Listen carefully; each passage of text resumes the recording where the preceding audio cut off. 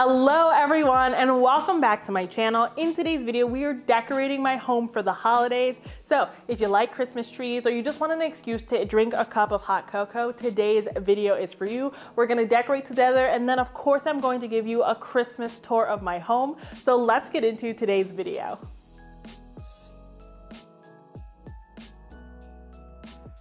This year we do have two Christmas trees and they are both from King of Christmas. So this is Christmas tree number one here. It is very, very massive and I fluffed part of it, but honestly I've not fluffed the whole thing yet because it requires me actually getting on a ladder to do so.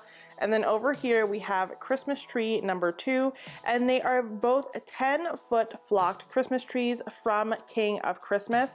And we ended up getting these trees because every year we went through tree after tree. And the one last year, there was so much fluff, there was so much dust that I felt like I honestly like couldn't breathe when I was around it because I was inhaling so much fake snow. So we wanted to get something that was high quality and something that we could store really easily for years to come.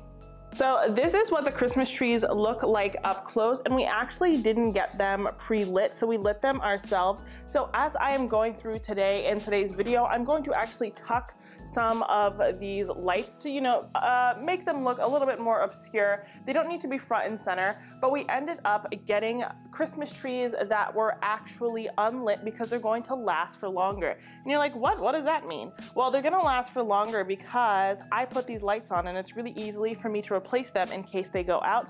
And we get fake Christmas trees because of the dog and fire hazards. Um, I'm really, you know, anxious when it comes to fire hazards because, you know, I've had actually problems with that before. So I just choose to get um, faux trees and we also tend to travel for the holidays and we like to have our trees up for a really, really long time. So this just makes a little bit more sense to us.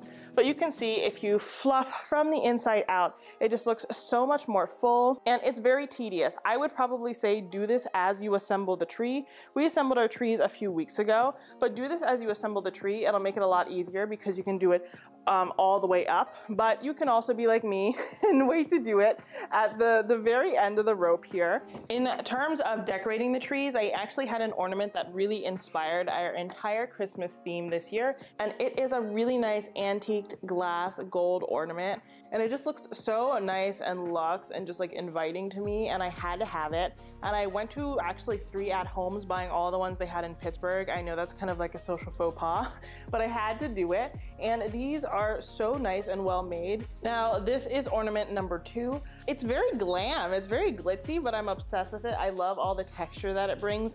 Again, I took off the hook that it came with because it just hangs a little bit too low. I also have these ones, which are also from at home that I love as well. As you can see here, I have all of my more fragile ornaments in this big Ikea bag um, because they didn't come in boxes. So this one, this was $2.99. Um, this one was $3.99. These were a little bit more expensive relative to my other ornaments. Um, and then I have some cheaper ones, kind of like this one. But what I'm going to do is I'm gonna put all the nice ones up and then I'm gonna come in with the smaller, cheaper ones and kind of go from there.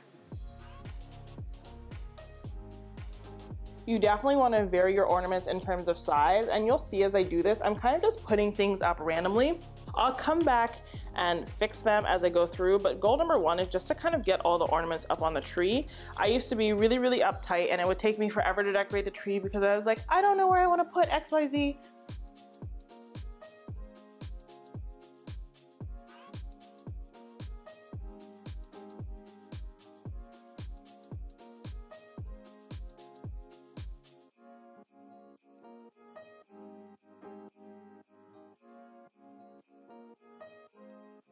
And I'm letting you all know now, there is no rhyme or reason to why I'm putting things where I am putting them. I'm just putting them where it feels right to me. I don't necessarily decorate the back of the tree. So I just finished decorating the trees. This one you're looking at here was definitely a lot more difficult than the other one because I went solo on this one. I love how it turned out. I'm gonna do a little bit more fluffing in a bit. Then we have the area near the mirror. I Haven't decorated that quite yet. And then we have this tree over by the window.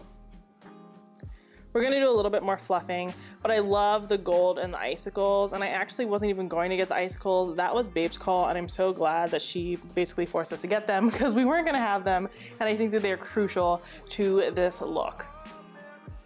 Now I'm going to decorate our makeshift coffee table. If you've been here before, you guys know that we are in transition when it comes to a coffee table. I just don't know quite what I want. But first I'm putting some coffee table books down and this book actually has a white dust cover, but it is green. So I actually wanted to expose that for the holidays for just a tad bit of holiday spirit. And then I'm going in with a white book. You'll be able to see I have done some damage on this book because I use it all the time, but I love it. I love the color pairing also, obviously. And last but not least, I'm adding a bowl because we want to mix up the shapes. So this is really nice and in theme with Christmas. And now I'm going to do something super duper fun. Now I'm going in with mini disco balls because I think they're super cute.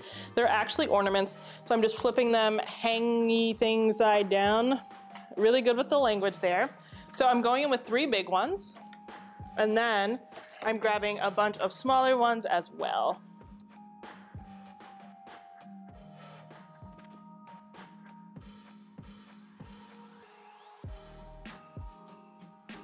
And that was very nice and simple. Just a little bit of holiday cheer via our coffee table styling. And again, that's where we're using the green and the white. And can we also talk about all this dust on the floor? I think I love Christmas decorating, but it's so messy. I'm gonna have to vacuum probably a hundred times, but it's definitely gonna be worth it. And here is a nice top-down view of those little disco balls. I just love them. They really just reflect the light beautifully. So it's like you have them lit up, even though they're not, but you could definitely get some Dollar Tree little battery operated string lights and string them through there. If I have them, you know what? I'll do that right now. We'll have to see.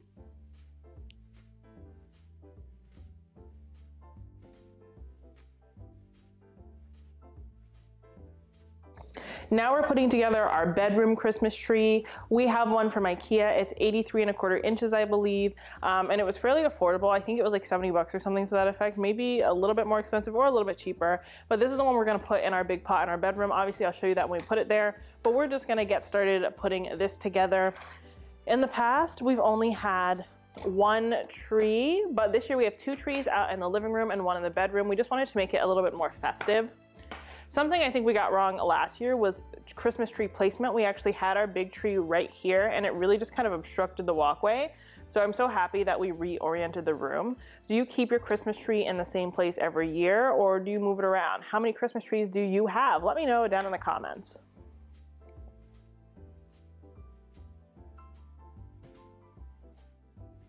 And in terms of height, you can see it's actually just a little bit taller than Babe. So I think that that's pretty good. Instead of doing the same thing we did on the big trees, we actually ended up using some leftover stars that we had. The leftover silver crackled balls that we had from our main trees. We just wanted to look a little bit different. It's sparse, it's Scandinavian. I'm gonna put it in the room now in this big pot. And again, I'm gonna elevate it with trash. That really offends a lot of people, but it's just a way to elevate a tree without having to use dirt for a faux tree. Um, it's a really good technique, I love it, but let's put this in that pot now.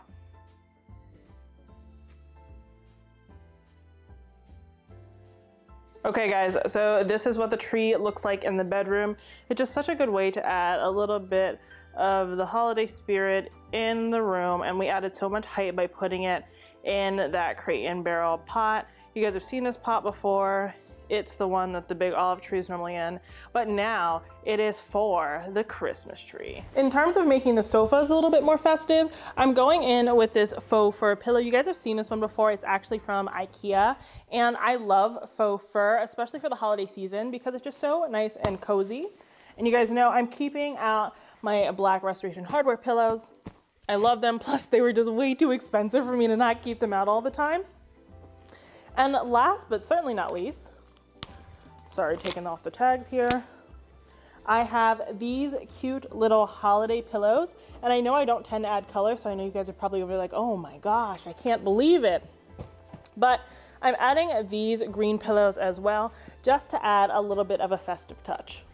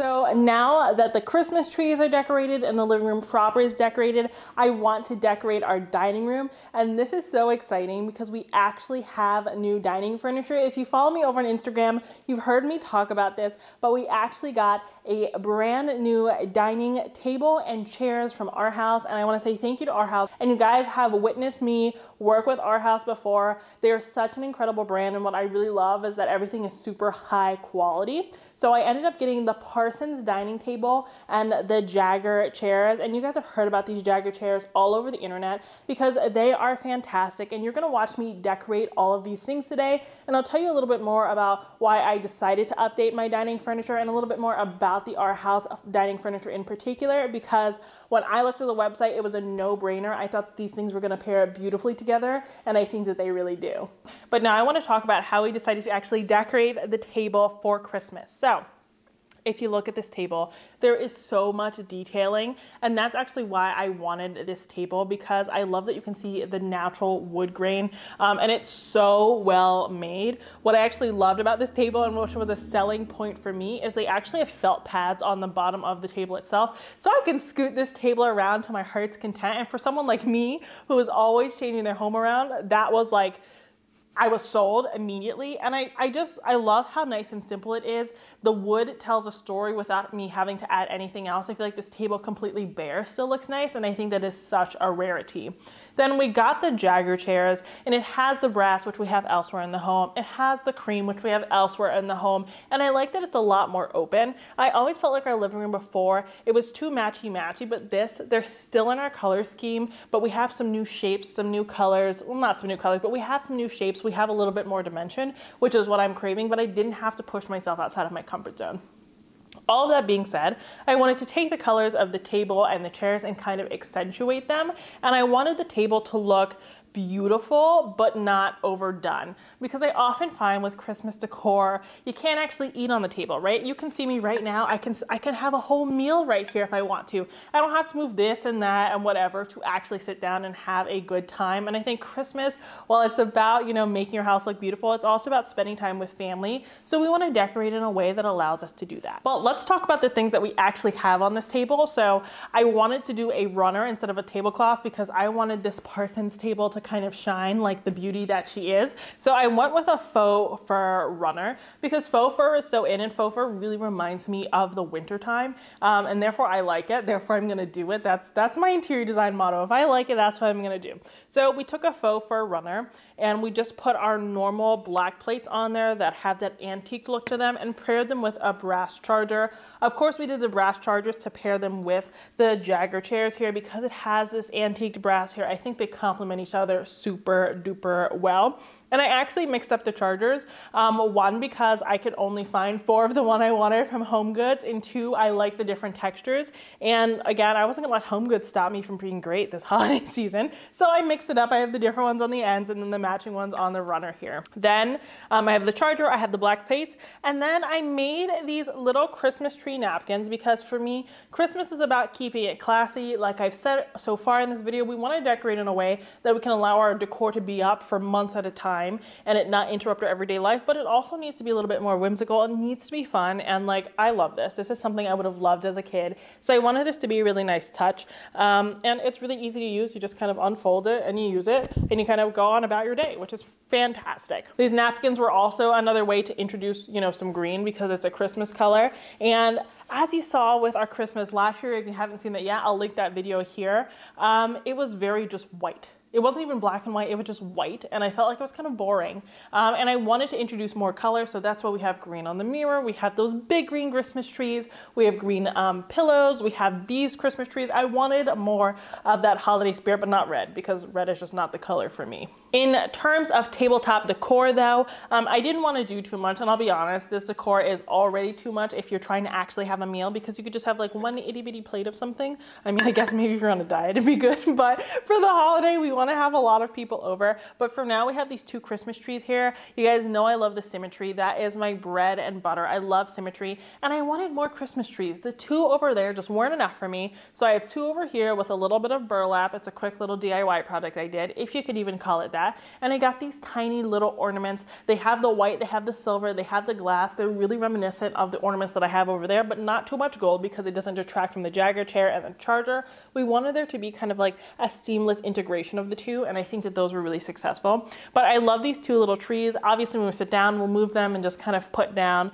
um, our serving plates. But for now, I think this is a really nice ode to Christmas. And all day long, I'm just gonna put my candle here, um, my beautiful Christmas tree smelling candle that I said I'd show you before and I didn't, so I'll show you right now. I'll put it right here and I'll make your entire house smell like Christmas, even if you don't have real Christmas trees at all because you're allergic to Christmas trees like me. And Babe is actually bringing it over to me to show it to you. Oh, it's so glorious and beautiful and it smells like Christmas and Santa Claus and everything good in the world. And if you don't have a candle snuffer um, because you didn't want to pay the $2 like me, it has a great aluminum lid. Put it on there and you're good to go.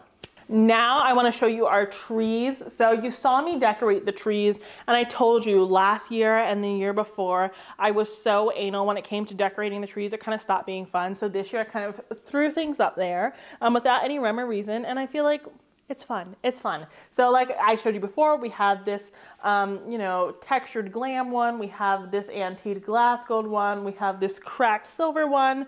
We have some much needed pine cones. I feel like without the pine cones, this tree wouldn't be it because you need that touch of brown. Um, and it actually ties in with the brown of the faux rug we have actually under the dining table, which is nice. Then we have some antique glass ones here. This is kind of like a diamond shape, if you will, corresponds to the ones we have on those mini trees. And then we have these icicles, and I have to give Babe a shout out here. Let's see if I can get it off. I have to give Babe a shout out here because she was like, we need these icicles. And I was like, no, we don't.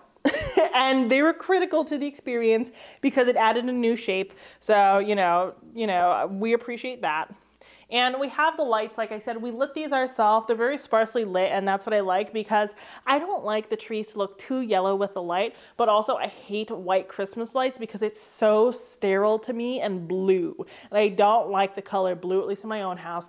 So this was this is kind of an in-between for us. It does give off that yellow glow, but it's Christmas, so I'm gonna be a little bit flexible. As for the mirror, we did the same thing as last year here. If you wanna see how to do this, um, on TikTok in a little bit, there'll be a kind of instructional video with one of my favorite brands so you can figure out how to do this. But I just took some garland and I draped it along the mirror to just add a pop of green up there because this is the focal piece of the room. And if you want your house to scream Christmas, you kind of got to go big or go home. So that's what I did there. And I actually linked the lights from here and there so I don't have to like, you know, rummage behind the tree to light the mirror. They're kind of a two-in-one situation. I might even add more lights. It depends on if I want to get back on the ladder because that was an event.